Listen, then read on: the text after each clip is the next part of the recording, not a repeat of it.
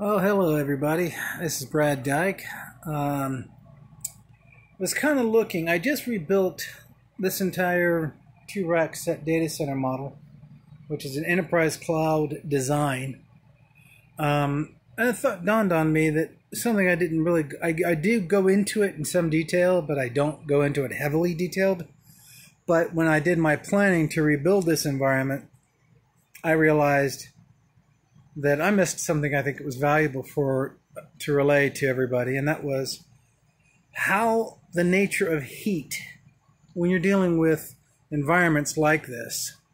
You see, heat uh, in a hundred thousand square foot room is like walking around in a mild tornado because the Liebert air handlers are moving tremendous amounts of air.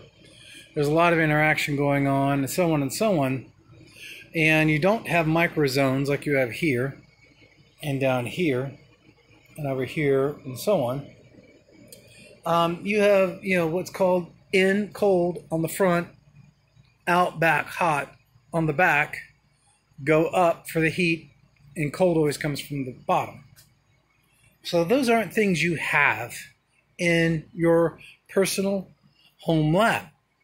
So how do you design it to do passive cooling. Now, passive cooling means you're not relying on your HVAC unit, which I have right there.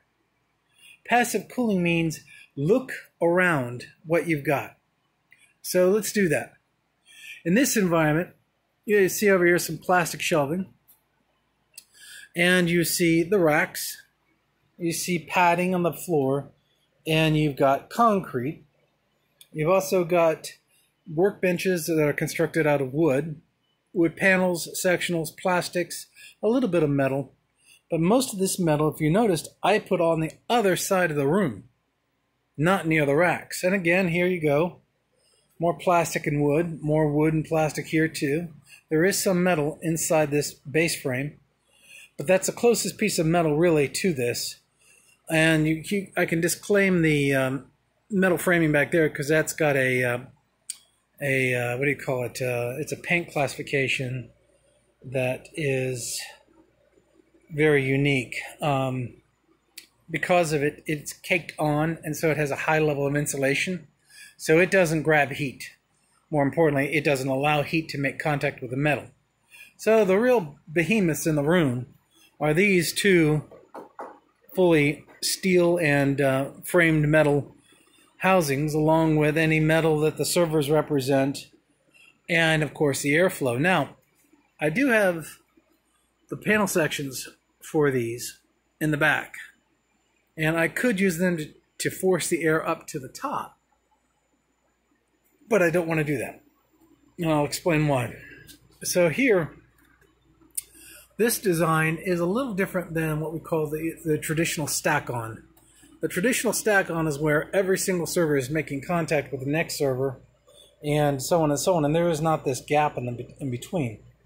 Now you can get away with that because you've got a large rack and you're going to compute level, which means you can do cloud instances, VM, or OB, uh, style virtualizations and your stack. So now you have uh, a, a ability to break these guys out so that they are not really contributing to each other's heat source.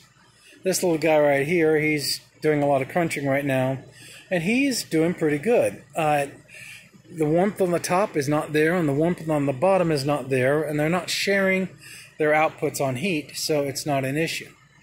You also notice that I've got a solid three feet of space between here the concrete, and the walls. Now, the walls have a Class B style insulation that is designed to also act as somewhat like a Faraday cage. And that's important too because heat, electricity, and so on are key values which you have to monitor in your environment. Lastly, and I think this is really important because when you're dealing with cool air, you also deal with low levels of humidity. So down there on the bottom, you notice that there are my ground lines and they're grounded up to the electrical outputs so that we can make sure that these chassis are fully grounded in case something really happens. And that does potentially become an issue when you don't control your humidity levels to the right place. So, the reason why I bring all of this up is that inevitably you're dealing with a poor man's lab, right? Even though this is a well invested lab, it's still not, you know, it doesn't have a Liebert, doesn't have a chilling tower in the back, it doesn't have uh, all the air conditioning style cooling mechanisms and so on and so on. So what you do is you really need to look what's close to it, like all of this plastic on the side. Plastic doesn't hold heat. Very poor conductor of heat. It's not a battery and it can't keep it. Over here you have a little bit of a battery, but it's so perforated and ventilated because it's a grilled style uh, set of metals that they're not really a problem either. The racks, on the other hand, they are clearly and concisely batteries, heat batteries to be specific. So again, the reason the way I fought that was that you don't have to stack everything up in your rack on top of each other. You can allow for breathing spaces, like right here. You can see these breathing spaces allow micro air zones to exist and create what's called microconvection. So here we have a server that has plenty of airflow below and plenty of airflow on the top. And it's running at 89% capacity constantly because this is a, a number cruncher, but it doesn't get warm. And more importantly, because I'm using the micro convection fields between the layers, this rack doesn't absorb the heat. Now, if anybody knows their worth in salt when it comes to being in a hot data center, everything is holding heat. Every single rack, every single metal door, anything that's made of metal will hold heat very well. What happens? Well, it takes as much time to cool the hot metals as it does to stabilize the server environments. So, most of us in operations will cycle down what we call dev and op to take a big chunk of our storage functionality out of the equation heat wise to give the say the data room a chance to cool down a little faster. But it will take you days to cool down a 30,000 square foot or better uh, deployment because heat convection is just that. Anything that can hold heat, you don't really want to have around. And if you've noticed, I have a gap between these racks.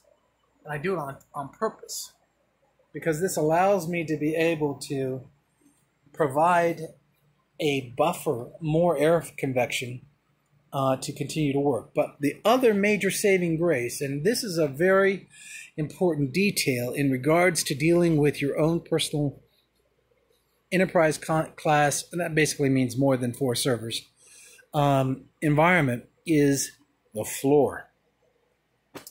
This is uncoated, untreated concrete, six inches thick, maybe maybe eight inches thick, and it is cool. It is really great.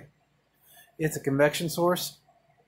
All this surface area, it's got these small little what you call ring effects between hot and cold, and they really do allow you to bring down temperature in any time of the year and it actually will help you keep your expensive HVAC in, the wintertime somewhat under control. I live in Ohio, so I have a lot of high temperature, low temperature kind of variances.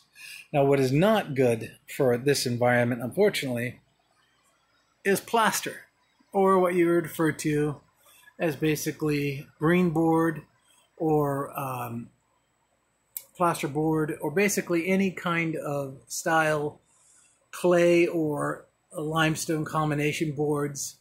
Uh, they store heat.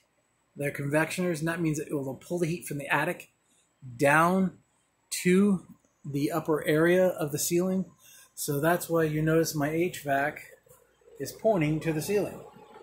And it's keeping the ceiling and all of this rock, sheetrock you see under control. And uh, that is a real serious concern because there is a real full blown roof up there with insulation, and that heat does come down. And I have to be careful because I can put my hands up here on the top and it will be absolutely warm. on days of 100 degrees outside, and my HVAC fights to hold 72 degrees. It actually does pretty good. But uh, you have to be, again, very careful about what you're doing. So, this is some information that you can use as you're thinking about how to make my lab better. Carpet floors, not good. Carpet, not good. Closets, not really good either. Uh, yeah, they're great to get you started, but you'll end up having to rip them up and tear them up and try to get ventilation and all that through that. My recommendation is go to your basement or go to your, your garage, like a second garage if you have one, or get where you can find some concrete. And then you've got yourself some spacing. And 12,000 square, you know, 12,000, I'm sorry, I'm sorry, about 1,200 square feet is valuable uh, for a house. So, you know, this is not a very big room. This is basically uh, about 10 feet wide, about uh, 18, 19, 20 feet long. Uh, and it does everything I need it to do as long as I keep, prospectively, things like this device here out this way and everything else out on the outer edges. So that's my two cents worth. Um, hope you guys enjoy. I'm always here to help people learn. I will let you go and you have a fun summer. Thanks. Bye.